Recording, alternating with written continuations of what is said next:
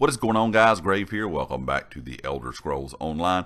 And I'm sure most of you know by now or have heard that the uh, update 26, which is the Greymoor chapter, will be delayed by about a week. And of course, this is because of everything that's going on in the world right now.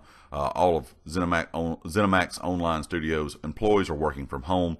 And they said it usually takes them two to three months to get an update ready, uh, you know, everything checked, everything running smooth before they can release it to the live servers and they said without uh, you know without them being in the office without them being you know able to do everything they do normally this is going to take a little bit longer. Of course the test server for Greymoor was supposed to already be released.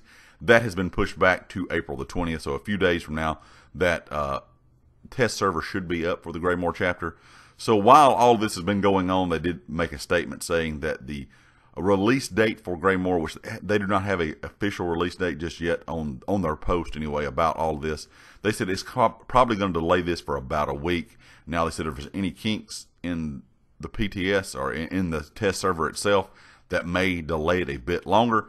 But in my opinion, that is understandable. I mean, I, I, would figure this was probably going to happen with most games. Most all gaming companies have either delayed games or projects that they were working on that are supposed to come out this year or they have made statements about, you know, if they're having updates for a game they have out right now that are going to be delayed a little bit. They're going to be slower, they're going to be less updates because of everything that's going on in the world.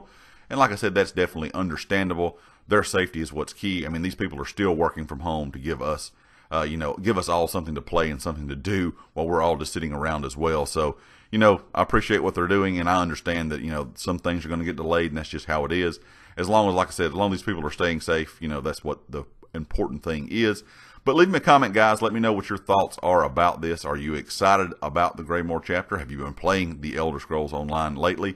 Have you been playing something else? Have you been watching TV? What is the case uh, that you're doing right now while everybody's just kind of sitting around at home, not really having a lot to do?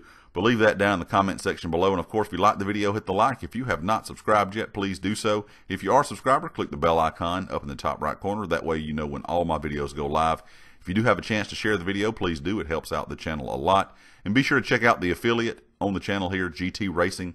Uh, all their information is linked down in the description. And I'll catch you all next time. Peace.